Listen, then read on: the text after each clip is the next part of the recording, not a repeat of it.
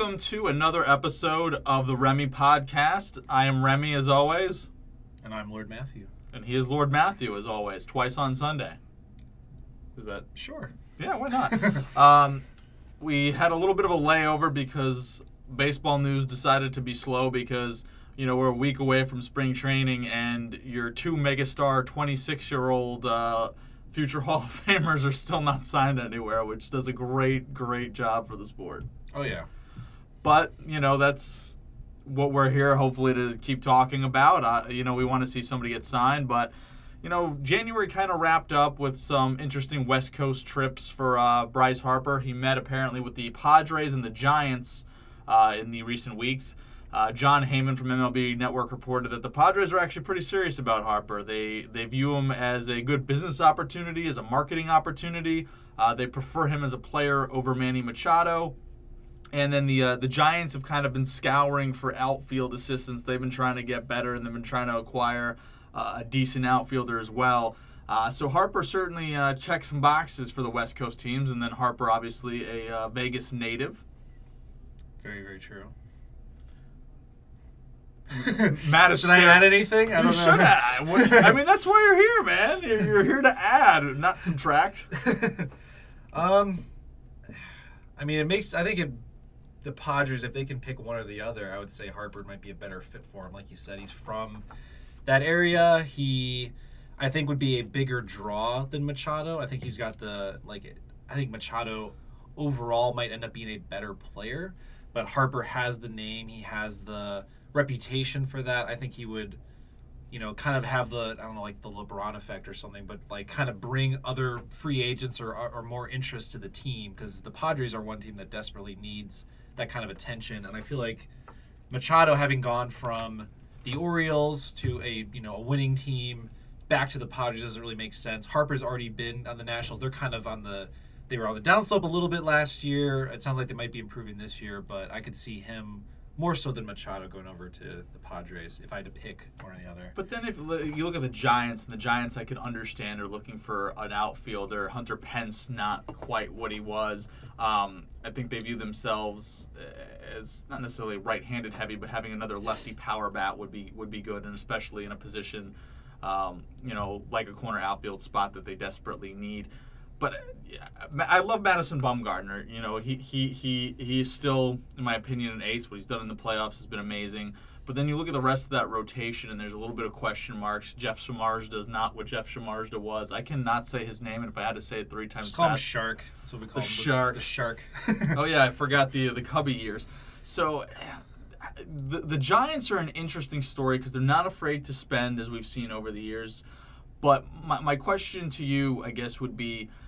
Does it make sense right now to move, have a big move like Harper? I know it's California, so splashy moves are kind of customary, but how close do you think, in your opinion, are the Giants to contention that would would Harper push them over the edge, or I, I still think there's too many holes in that uh, in that team. well, it's an odd year, so obviously they're not going to do anything next year, right? um, yeah, I don't know. I mean, they Bumgarner was hurt a lot last year. I mean, he kind of had a down year for, by his standards. The rest of it, because I Samard has been in talks of being on other teams. I mean, their their rotation's kind of like you said, sort of a mess right now. Um, they have a lot of players that have been good in the past that are kind of aging a little bit. I mean, I don't know if I think Harper would more likely sign with the Giants because they're more, I guess, close to a team that could compete. But for how long, I don't know. The Padres have the, I don't know if you call it a luxury, but the ability to build from the ground up, so to speak, and they have no problem signing these giant contracts to people. So, I mean, I could I could see him going with the Giants, but it, it doesn't seem like you know his presence would be enough to push him over the edge unless everybody sort of returns to that you know that 2010 12 14 form or whatever Yeah, that's not happening. But you did uh, you did create an interesting segue because the giant, I guess pun intended, the giant giant contracts have been coming into play in their outfield search. Uh, Buster Olney uh, hopefully prophetically claimed that the Giants might be interested in the Yankees' Jacoby Ellsbury on a bad contract swap. Again, looking for an outfielder, a lefty hitting outfielder. Um, I mean, Ellsbury's plagued by injuries. I don't really know what you're even going to get, but the Giants do have a whole host of bad contracts. Olney was suggesting Um, you know, maybe Johnny Cueto, he has $68 million left on a three year deal. Um, I was looking at Samardzija. He's got two years, 36 million left. Brandon Belt's got three years, 48 million, and Mark Melancon's got two years, 28 million. Uh, I mean, I'm sure that some combination or, or you know Cueto plus you know dollars. I, I don't I don't I don't know how they would end up wanting to work it, but there's there is a lot that could be moved. Now the question would be you know Ellsbury and, and I'm not trying to trash a guy or anything. He's worthless on the Yankees. He, he's so low on the outfield depth. I mean you you have Judge, you have Hicks, you have Stanton, you have Gardner, you have Frazier. And I know some of that's a mixed bag. Frazier, you know, is getting healthy from concussions. Um, Gardner, you know, maybe a little bit uh, slowed down with the bat, but he is still a gold glove, in my opinion, left fielder. Um, Judge is an amazing outfielder for a guy his size to have the range and the speed and just uh, his arm is amazing. Uh, Aaron Hicks, I would argue, is probably a top five center fielder, and I'm not talking about offense. I mean strictly defensively. Sure, sure. Um, I, I, think he's had some of the um, quickest throws from the outfield to the infield in the major leagues in the past few years. So. Um, I don't think Ellsbury has a home on the Yankees anymore. Now, with that said, Johnny Cueto is still recovering from injuries. Um, so the Yankees could get uh, some insurance payouts for Cueto until he comes back, which might be at the end of this year. Or, you know, the Yankees' first base is kind of a question mark. Uh, Greg Bird has not performed up to standards, and people wonder if Luke Voit's a one hit wonder. But uh, Belt's got some lefty pop.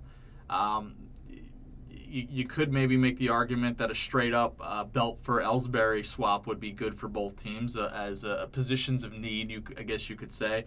I mean, there's a lot of combinations that work. Um, bad contract swaps are not unheard of. I mean, they're, they're a good way to get resources out of essentially nothing. Um, you know, how, how do you feel? What do you what do you think? Does that sound like it makes sense to you, or would you hold off and try and do something different versus just trying to move one man's trash to become another man's treasure, so to speak? Well, I feel like with with both those players, I mean, you mentioned Ellsbury and Belt. It's almost like just a change of scenery might just be better because especially with Belt, I mean, the Giants Park is not a good lefty hitting park by any means unless you're Barry Bonds. Um, he would probably flourish in New York, honestly, uh, especially offensively. Ellsbury, you guys have a habit of taking like Boston center fielders and trying to, you know, reclaim that magic a little Damon bit. Damon did yeah, good for us. Though. Damon was Damon was a little bit better than Ellsbury, I'll say that. But um, yeah, I mean, with Ellsbury, he's been kind of on the downturn the last few years. I mean, the Giants, I feel like, are not going to want to give up much. I mean, I guess you because you're giving up a big contract with him. I don't know how much the Giants are going to want to give up for an aging, slowing down center fielder, even if they do have a need for it. Um, he'd be like the ultra consolation prize if they don't, you know, land Harper.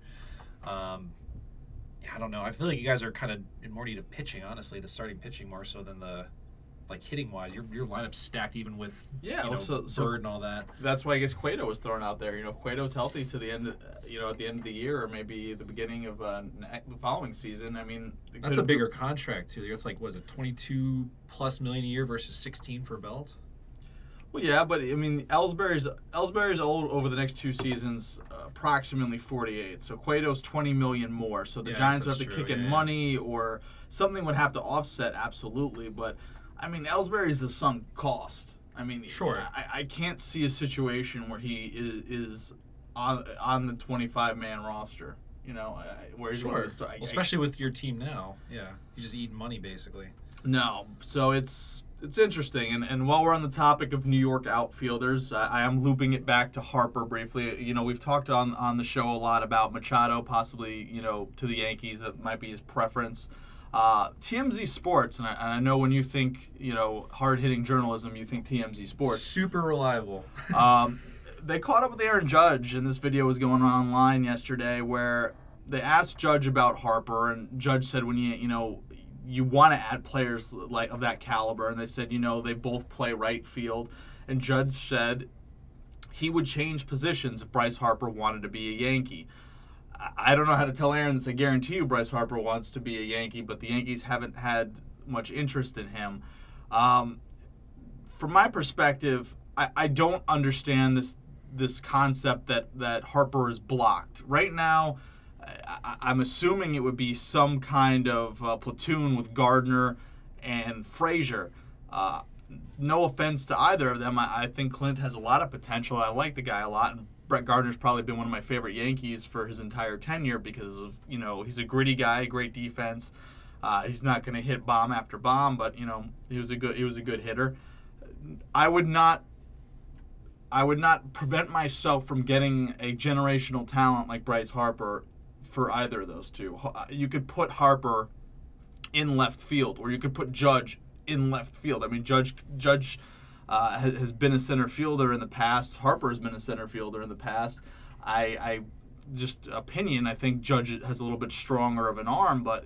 Uh, I, I don't think any of this preclude, precludes anything, and you know maybe it's well wishing on Judge's part, and you know obviously you want the best players to come to your team, but um, I, I see no reason why the Yankees shouldn't get a player like Harper, and I think Harper's left-handed bat would play better. You know, to what you were saying in regards to to Belt.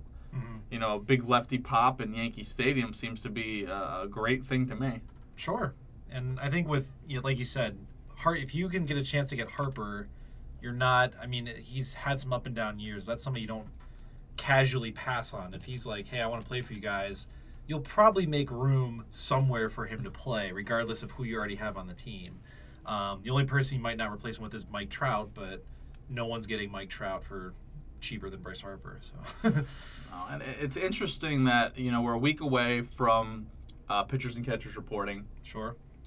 And as we get closer to that, you got to wonder if if a Machado or if a Harper is going to, um, you know, take a different kind of contract to, to get you know, to get with a team. You know, I, I don't know exactly what their demands are, and I honestly don't think anybody really knows what their demands are. I know they wanted to make a lot of money, um, but maybe you take shorter deals that are that you know have higher averages just to accommodate. You know, and maybe at a time like that, a team like the Yankees do jump on a Harper or do jump on a Machado.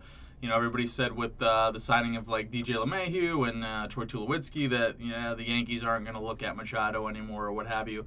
I think as the prices become uh, less prohibitive, and if they do drop, it's it's the Yankees. I've watched them my entire life. I've seen what they do. I know they're not George Steinbrenner's Yankees anymore.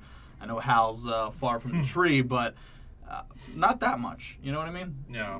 When you have star power and you know you have a juggernaut like the Yes Network, and you want to appease your season ticket holders, I, I, I can't see one of those names not going to New York if the prices drop. Well, I think with with both those players, I mean, I think we touched on it last week a little, or I guess the last session, two weeks two, ago, two weeks whatever. ago, week and a half ago. Um, the the longer term contracts, like guarantees, what they're trying to hope for, they're just they're just not prevalent anymore. You just don't see those seven, eight, you know, ten year contracts. I think that's what they're looking for, and teams aren't biting on it anymore. So either somebody's going to have to blink at some point, and I feel like the closer it gets to spring train, the closer it gets to you know actual game time playing I think those numbers are going to shift a little bit, and you'll see those shorter, kind of more upfront contracts. Well, look, look. I mean, we just mentioned Jacoby Ellsbury. If you want to talk about recent Yankee history, about a long-term. I mean, he's not. It wasn't a ten-year deal or something like that, but they've we've seen durability come into question. A Rod's long-term contracts weren't great. Seattle with Cano's long-term contract that you know what he wanted to stay in New York. Just the, the, time and place, and I, and I know players will have a problem, but it is market correction. You know, these big mega deals handed out left and right, and that's not to say the players shouldn't get a fair share of money. You know, they're bringing in the fans. They're there to see them. They're there to, you know, help help teams make money with jersey sales and whatever promotions and what have you.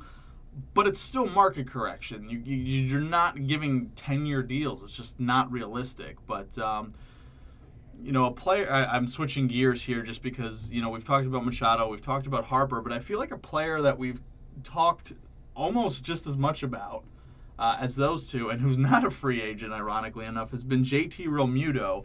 And Ken Rosenthal's been reporting that the the Phillies are back in looking at him, which is very interesting as a team that's sort of rebuilding, reloading, and you know back in competition. You know they had stupid money, which is why they've been looking at Machado and Harper and the like. So it's interesting to me to uh, look at a arguable, well, not arguably, he is a big name. He's probably the best catcher overall in the league, as we've discussed ad nauseum.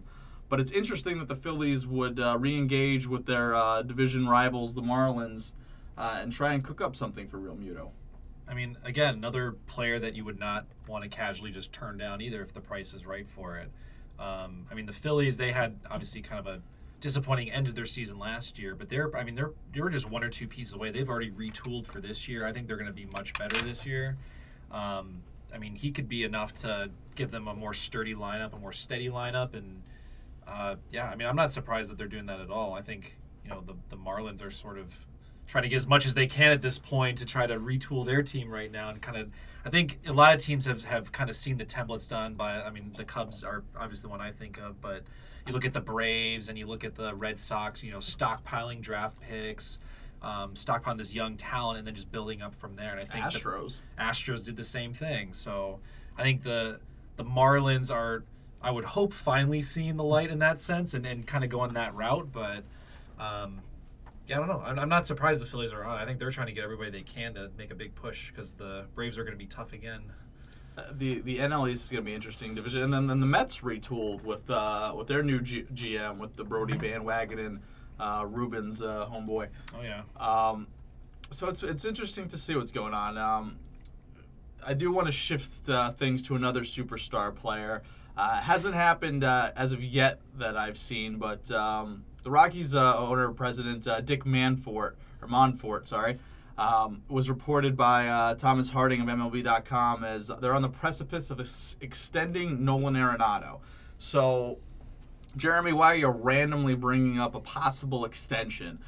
As many of you know, and what we did five minutes ago, we talked about Manny Machado. So what's the point? Well, on the previous show, we did mention that you know it's possible that teams are holding out instead of interest in Manny because they would like to maybe have a crack at Nolan Arenado either at the trade deadline or you know next season when he's a free agent.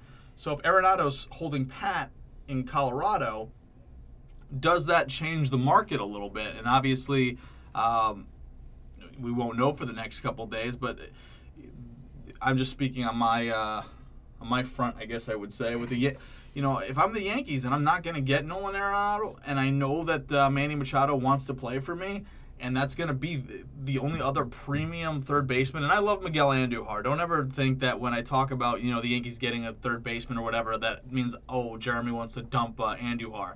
No, Andujar is super young, extremely offensively talented, but the defense isn't there and we don't know if the defense is going to be there.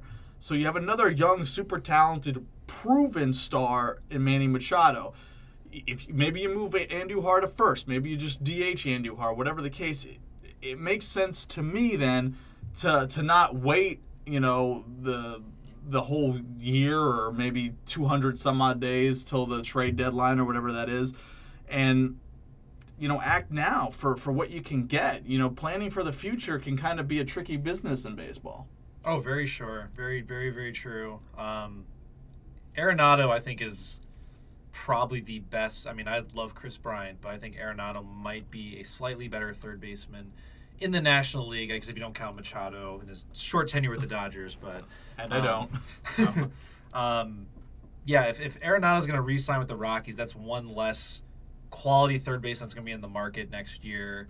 Um, I think you, you really just can't pass. I mean, I, I, of Machado and Harper, I still think Harper might be a better overall pick, and he'll bring in more fans and more money and whatever you want to call it. Um, but Machado is one of the best third basemen in the league, and Arenado is, you know, doesn't have the name recognition, but he's still probably up to par, I would say, with him on that. Um, if he's gone, then yeah, if, if, you have the option to get Machado, I'd say do it. Yeah, I can't. Uh, I can't disagree with you. I didn't disagree with you. There you go. um, we wanted to wrap up today with something that was coming out um, about the propose. And the, when, we say propose, I know we, I think we talked about this actually in the first show. Some of the things that have been discussed, but proposed rule changes uh, for Major League Baseball um, the MLBPA and the commissioner's office and everybody will kind of discuss what's going to happen. But uh, some of these were interesting. Some of these were a given or things that you know Matt and I have uh, word vomited on consistently. Like, uh, should the DH be in the National League? It will eventually. People can stop crying about it. It will happen. Yeah. But um, Matt's gonna kind of take charge. And what what are some of the what are some of these things you were seeing, Matt? All right. So there's kind of a laundry list, and they went into a little bit of detail as far as why these might take effect. I mean, most of them are to try to speed up the game. I think Manfred's still in that. Like, let's make the games less than three hours kind of thing. I mean, the intentional walk thing didn't really save, what, three seconds or whatever? It's valuable three seconds. Um, so, first one that's kind of throwing the union already into loop is the three batter minimum, which I guess is going to be the, the way I was seeing is that it was going to be delayed until possibly 2020.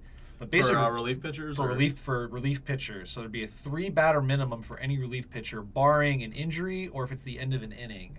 So if they close the inning with one out, then that's they're out. They can come out the next inning. But if you come in, you know, the middle of the inning, you have to pitch at least three batters if the game's still going on. Your Um, loogies would hate that. That is the exact thing I was going to think of. Is your your left out, your lefty one out guys. Um, that kind of eliminates that sort of tactic a little bit. And I think, I mean, the big reason for it is to prevent, you know, improve the game time and all that. You're not having all these pitching switches or, um, you know, mound visits or whatever you want to call it. But um, obviously, there's a lot of teams probably looking at that very closely because that's going to affect their strategies with inning, you know, pitching management and all that. do you do you like that? I think that's part of the game, honestly. I mean, you're not going to the game expecting a quick game typically.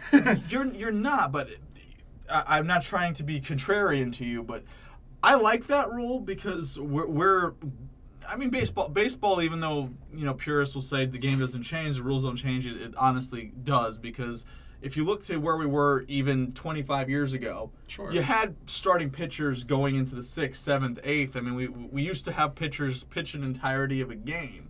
You know, maybe you'd have one or two relievers as time went on, but now it's just all right. My starter went four and a half or five innings, and here we go. Yep. It- it- if you're a pitcher, Major League Baseball, and I don't mean just a starter, I mean a reliever, and closers more specialized. I get it, but you got to be able to pitch and these one out only pitchers and i'm not saying it's not a valuable skill set because it is to, to have a matchup and be able to know that a guy's automatic i get that I, I don't have a problem with this. I don't like seeing 900 mound visits. And I, I'm somebody who doesn't care about the length of a game. I'll watch a two hour game, I'll watch a three hour game, I'll watch an 18 inning classic if I have to, whatever it is. Baseball is a leisure sport. I don't complain about having leisure time. Um, so I, I do like that rule. I, I, I do think get them in there, take away the 900 mound visits to have to keep changing in and out pitchers, and pitch to the pitch to the freaking batters, man. Um, well, leading into that, as a way to speed up the game, one of the other proposed rules was the 20 second pitch clock, which I know that they've talked about previously. And the thing with that is that the again, I was reading between you know the baseball union pushing back a little bit Manfred, um, but there's nothing in the current contract that says he can't implement that. So he could do that as soon as this year without any pushback, without any sort of red tape to go through. Um, I think that would have a more universal effect on the overall speed of the game, even with those pitching changes, if pitchers are actually pitching in a timely fashion. Because I think a lot of it is, you know, waiting around, trying to get your signals right and all that. I think that that really slows the game down quite a bit. Well, I agree with you. I, I definitely think there's a lot of pitchers that need to speed up. I mean, as much as I love watching uh, Craig Kimbrel adjust his uh, chicken hook arm thing going on for an hour and a half now, um, but but there's definitely some pitchers that that uh, take well and above the amount of time it should take to pitch. Um, yeah, I, I would be in favor of that. Um, they also touched on the DH in the National League. They said as, as soon as this year, even, Good. um, which you know, in this in the league that is very focused on offense these days, that would be a big you know boost to the National League for sure. Um, and then everything else sort of stems on kind of kind of like team management a little bit. So they were proposing doing a single trade deadline, which I know is going to upset you because I know you love your transactions and all that. I love my transactions, but I don't have a problem with a single trade deadline. I mean, uh, you know, I, I don't have uh, any problem with them making it more concise. And then obviously, you wouldn't have these like wonky rules where you know if it's after the trade deadline, the the, the um, my brain is blanking, which is wonderful, but the. You know the the, the uh, September trades where you know the guy can't appear on the playoff roster, so Yeah, yeah, yeah. You like wave up, you know, I can't remember all the goofy the non-tender trade Yep, deadline yep, or whatever yep, yep. is. Yeah. Um, and then I this was more of a apparently a kind of compromise to the speed increasing tactics for the game, uh, but they were thinking of increasing the overall roster to 26 instead of 25 with a 12 pitcher maximum roster, so adding 30 more players to the league. I like that actually. Uh, it's flexibility and also a lot of. Actually, it screws with the Yankees because the Yankees typically carry 13 pitchers. um, but that again goes into not having to have 900 pitching changes too. Sure. Even granted, that's one down. Um, I think that's probably done to, you know, if you're going to, um, if you're going to not have as many um, September roster uh, roster call ups and things like that, to have Sure. a 26 man roster is, um, I think, kind of a compromise. I think what they don't mention here also, um, or I didn't write that down, but the September roster, 'cause I think it's what 40, 40 men in September, right? Yeah, you can call it. That'll shrink down to actually 30 uh, with this new rule. So it's actually a smaller September roster. Oh, so you can't uh, you can't you can't have like your, your entire minor league team come in and and like you know play out the season or something like that. Oh, I love that. No, I'm kidding. I don't.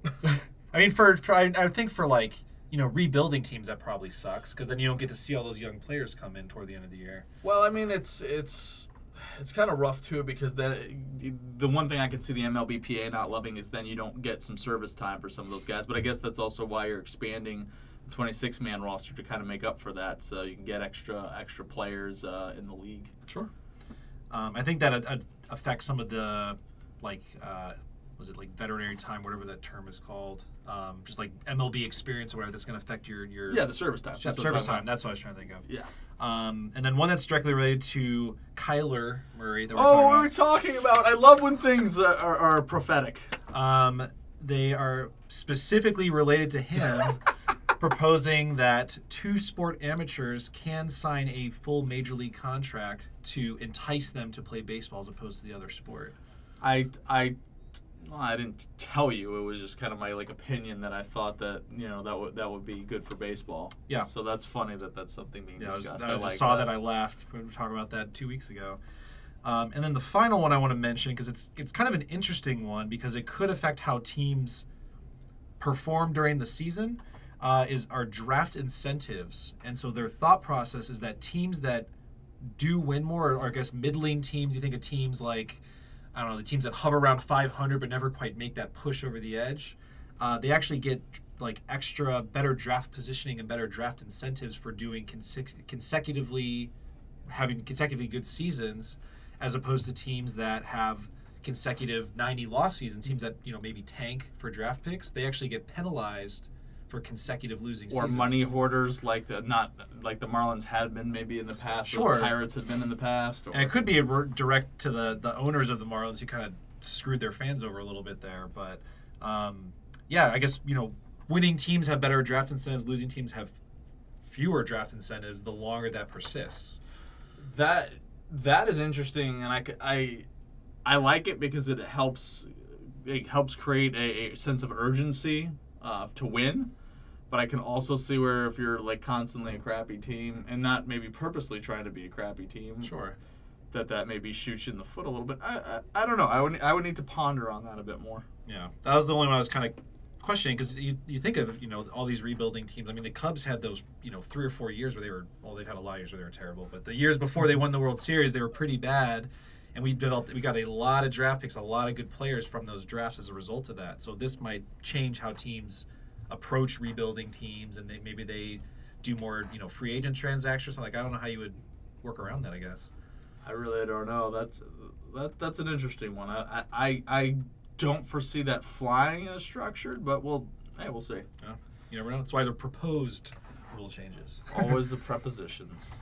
That's not at all what I was trying to say. close enough. Yeah, you know why why not?